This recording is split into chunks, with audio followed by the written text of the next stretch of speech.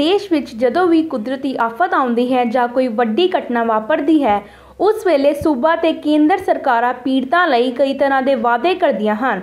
ਤੇ ਕੁਝ ਸਮਾਂ ਬੀਤ ਜਾਣ ਤੋਂ ਬਾਅਦ ਪੀੜਿਤ ਦਰਦ ਦਰਦ ਦੀਆਂ ਠੋਕਰਾਂ ਖਾਣ ਨੂੰ ਮਜਬੂਰ ਹੋ ਜਾਂਦੇ ਹਨ। ਪਰ ਕੁਝ ਸਮਾਜਿਕ ਸੰਸਥਾਵਾਂ ਇਸ ਤਰ੍ਹਾਂ ਦੇ ਲੋਕਾਂ ਦੀ ਮਦਦ ਲਈ ਹਮੇਸ਼ਾ ਹੀ ਤਿਆਰ ਰਹਿੰਦੀਆਂ ਹਨ।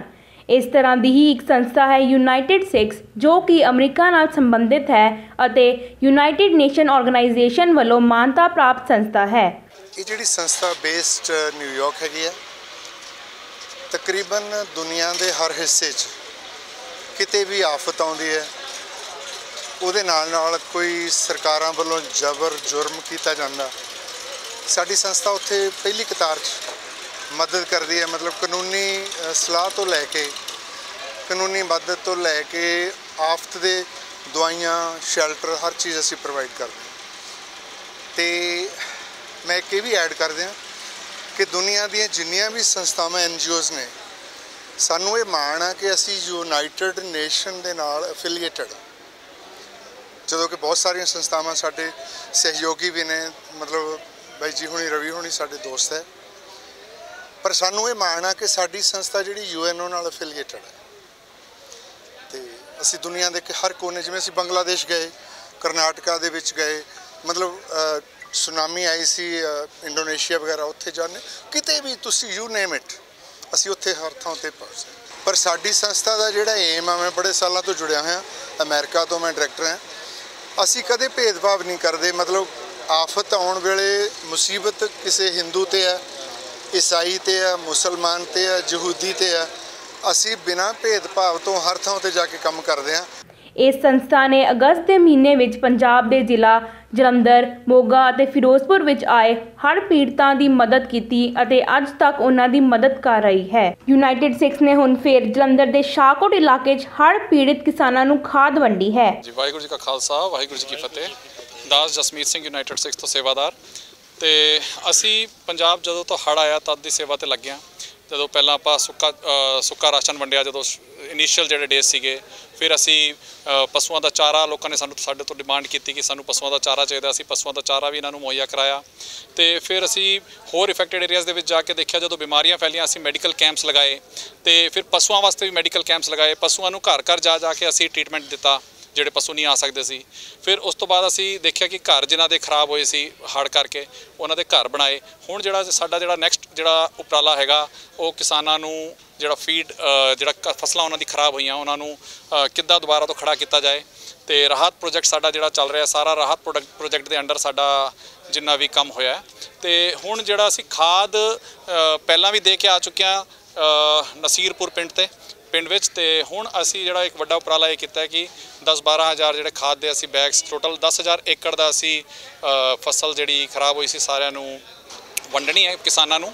ਤੇ ਇਹਦੇ ਵਿੱਚ ਅਸੀਂ ਕਿੱਦਾਂ ਅਸੀਂ ਸਰਵੇ ਕੀਤਾ ਸਾਡੇ ਵੋਲੰਟੀਅਰਸ ਦੀ, ਅਸੀਂ ਮਤਲਬ ਦੇਣਾ ਨਹੀਂ ਦੇ ਸਕਦੇ ਵੋਲੰਟੀਅਰਸ ਦਾ, ਕਿਉਂਕਿ ਸਾਡੇ ਵੋਲੰਟੀਅਰਸ ਨੇ ਘਰ ਘਰ ਜਾ ਕੇ, ਪਿੰਡ ਪਿੰਡ ਜਾ ਕੇ ਉੱਥੇ ਸਾਰਾ ਜਿਹੜਾ ਸਰਵੇ ਕੀਤਾ ਤੇ ਫਿਰ ਉੱਥੇ ਸਰਪੰਚਾਂ ਨੂੰ ਮਿਲੇ, ਉੱਥੇ ਜਿਹੜੇ ਮੌਤਬਾਰ ਲੋਕੀ ਹੈ ਉਹਨਾਂ ਨੂੰ ਮਿਲੇ, ਸਾਰਾ ਡੇਟਾ ਇਕੱਠਾ ਕੀਤਾ, ਉਸ ਤੋਂ ਬਾਅਦ ਸਾਰਾ ਡੇਟਾ ਪਟਵਾਰੀ ਤੋਂ ਵੈਰੀਫਾਈ ਕਰਵਾਇਆ ਕਿ ਕੀ ਇਹ ਡੇਟਾ ਜਿਹੜਾ ਸਾਨੂੰ ਸਾਡੇ ਕੋਲ ਆਇਆ ਸਹੀ ਹੈ, ਤਾਂ ਕਿ ਜੋ ਚੀਜ਼ ਸੰਗਤ ਦੇ ਸਹਿਯੋਗ ਦੇ ਨਾਲ ਜੋ ਚੀਜ਼ ਅਸੀਂ ਵੰਡਣੀ ਆ ਜਾ ਕੇ, ਕਿ ਸਹੀ ਹੱਦਾਂ ਤੱਕ ਜਾ ਰਹੀ ਹੈ, ਨਹੀਂ ਜਾ ਰਹੀ, ਉਹ ਵੀ ਸਾਰਾ ਅਸੀਂ ਪੂਰਾ ਪ੍ਰੋਪਰ ਤਰੀਕੇ ਨਾਲ ਇਹਨੂੰ ਸਿਸਟਮ ਦੇ ਨਾਲ ਅਸੀਂ ਸਾਰਾ ਉਹਨੂੰ ਲਿਸਟਾਂ ਬਣਾਈਆਂ।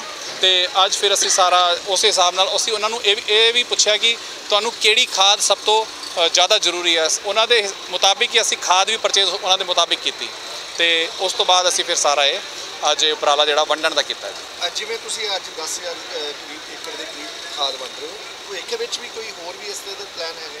ਬਿਲਕੁਲ ਜ਼ਰੂਰ ਹੈ ਵੀਰ ਜੀ ਹਲੇ ਹਲੇ ਤਾਂ ਸਾਡੇ ਜਿਹੜੇ ਪੁਰਾਣੇ ਪ੍ਰੋਜੈਕਟਸ ਆ ਉਹ ਵੀ ਚੱਲ ਰਹੇ ਆ। ਘਰ ਬਣਾਉਣ ਦੇ ਪ੍ਰੋਜੈਕਟਸ ਪਹਿਲੇ ਫੇਜ਼ ਦੇ ਵਿੱਚ ਅਸੀਂ ਚਾਰ ਘਰ ਬਣਾਉਣੇ ਸੀ ਹਲੇ ਦੋ ਘਰ ਬਣ ਗਏ ਆ ਤੇ ਇੱਕ ਦੋ ਘਰ ਹਲੇ ਅਸੀਂ ਹੋਰ ਬਣਾ ਰਹੇ ਆ। ਤੇ ਇਸ ਤੋਂ ਬਾਅਦ ਜਿਹੜਾ ਇਹ ਵਾਲਾ ਵੰਡਣ ਤੋਂ ਬਾਅਦ ਅਸੀਂ ਜਿਹੜਾ ਹੋਰ ਜੋ ਵੀ ਮਤਲਬ ਕਿਸਾਨਾਂ ਦੀ ਪੂਰਤੀ ਇਹ- ਇਹਦੇ ਨਾਲ ਨਹੀਂ ਹੋਣੀ ਸਿਰਫ। ਨਾ ਅਸੀਂ ਪੂਰੀ ਪੂਰਾ ਅਸੀਂ ਵੀ ਨਹੀਂ ਕਰ ਸਕਦੇ। ਇਹ ਤਾਂ ਜਿੰਨਾ ਸੰਗ- ਸੰਗਤ ਤੋਂ ਸਾਨੂੰ ਸਹਿਯੋਗ ਮਿਲ ਰਿਹਾ ਅਸੀਂ ਕਰ ਰਹੇ ਹਾਂ। ਸੰਗਤ ਦਾ ਬਹੁਤ ਬਹੁਤ ਧੰਨਵਾਦ ਕਰਦੇ ਹਾਂ। ਤੇ ਸਾਨੂੰ ਜਿੱਦਾਂ ਜਿੱਦਾਂ ਸਹਿਯੋਗ ਹੋਰ ਮਿਲਦਾ ਰਹੇਗਾ ਅਸੀਂ ਅੱਗੇ ਵੀ ਸਾਰੀ ਮਦਦ ਕਰਦੇ ਰਹਾਂਗੇ।